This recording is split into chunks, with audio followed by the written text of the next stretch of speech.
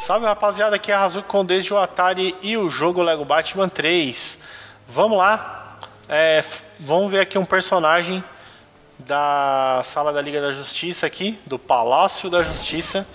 Esse personagem a gente vai encontrar ele aqui no cantinho.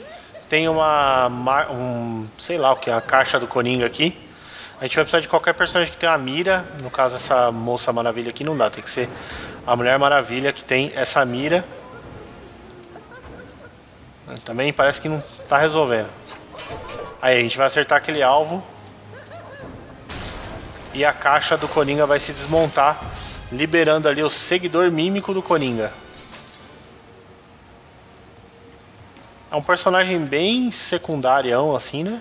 Mas é legal. Custa só 3.500, é muito baratinho.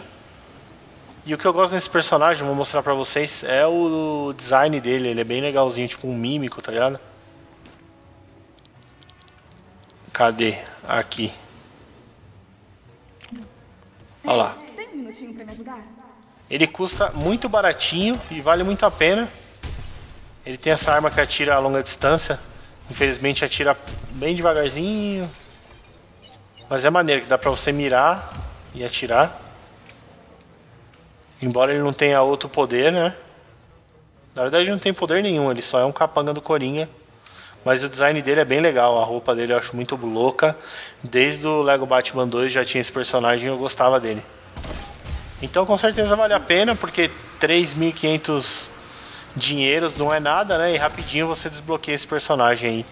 Não requer nenhum trabalho a mais para você desbloquear. Firmeza? Bom, esse foi o vídeo aí de hoje. Fique ligado no Desde Atari, porque daqui a pouco voltaremos com mais aventuras aqui no Lego Batman 3. Não perca, valeu!